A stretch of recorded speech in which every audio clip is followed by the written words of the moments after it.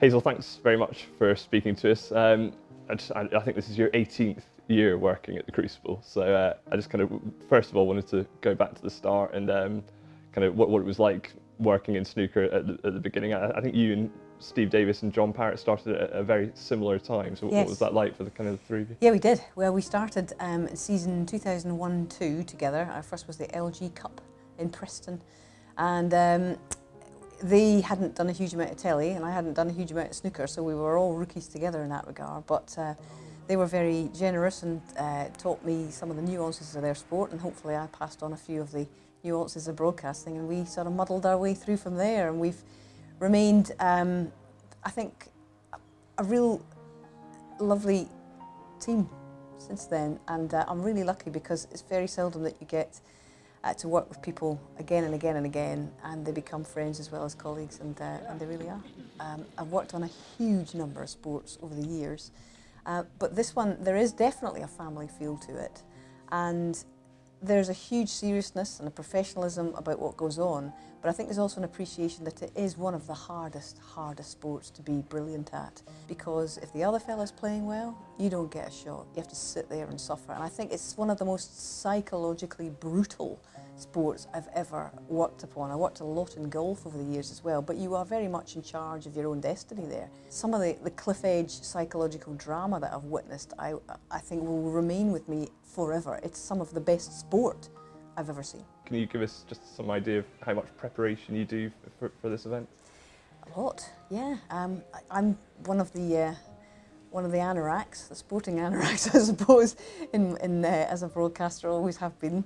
Uh, but that has always, for me, been part of the the interest and the thrill of it, and turning up a few interesting lines and uh, comparing and contrasting, and having done a, a lot of the work beforehand, and then obviously scrapping to try and memorise as much as you can and have that information at your fingertips. It's something that I've had to do in golf. I think whilst you can you can know a little bit about a lot of players, some of whom will never feature towards the, the tail end of a major, here you have a very small, much smaller group. So your level of knowledge and your level of interest and the depth of your search has to be that much deeper because you have to find so many more things to talk about in a, in a, in a, in a two-day match, for example. So yeah, the level of it is deeper, but therefore I think all the more um, intriguing.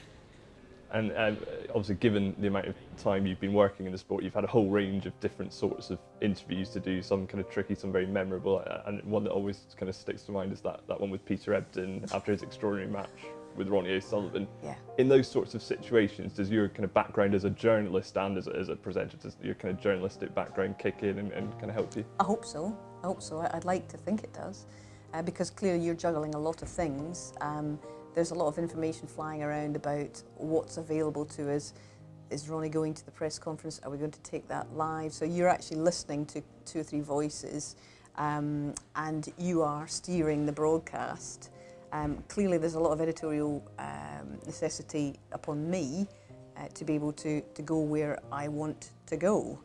Are there any interviews that you've done in particular that kind of stick out for you? I think I think the Ebdon one sticks out. Yeah, uh, that was that was an extraordinary event that night. Uh, everything was going on. Ronnie had been knocked out, um, so that that was tumultuous. Ronnie comes forward to shake his hand. A truly amazing quarter-final. But I think also one of the most memorable and probably the most enjoyable was um, was speaking to Mark uh, Williams last year um, after that incredible final and the whole family being out there. I think we owe a debt of gratitude to the lady that's on the screen now. Jo, your wife, she was the lady. Here she comes. Come on in, Jo. Because you are the one who persuaded this man not to hang up the cue, but to keep going last year. And this is a family snap for the album here. What would you like to say to this woman, the woman who kept you going? Uh, yeah, she convinced me. Last year, I was seriously thinking about giving up, and she um, she basically said, "I can't stick when you was 24 hours a day." So That was a, a joyous moment, and I think everybody felt so lifted by what they'd seen. That'll stick with me for a long time. Yeah. One of the most poignant ones was was watching Ken Doherty's comeback um, in 2003 against Paul Hunter in the semi-final. Paul looked like he was going to march on into his, his first final. It didn't happen. Doherty was unbelievable that year to get into the final against uh, against Mark Williams and nearly caught him on the line as well. And of course, that was that was Paul's last opportunity to to become a world champion. Absolutely unbelievable afternoon, and Paul Hunter summons a gracious smile despite his crushing sense of disappointment. There's so many moments in this little theatre that will always stay with you, and um, and sometimes, sometimes when I'm when I'm picturing coming back here, I can almost hear it, I can almost feel it, I can almost smell it. I know what I'm coming to here because it never changes and it's always different. And that is the enduring appeal of this amazing place.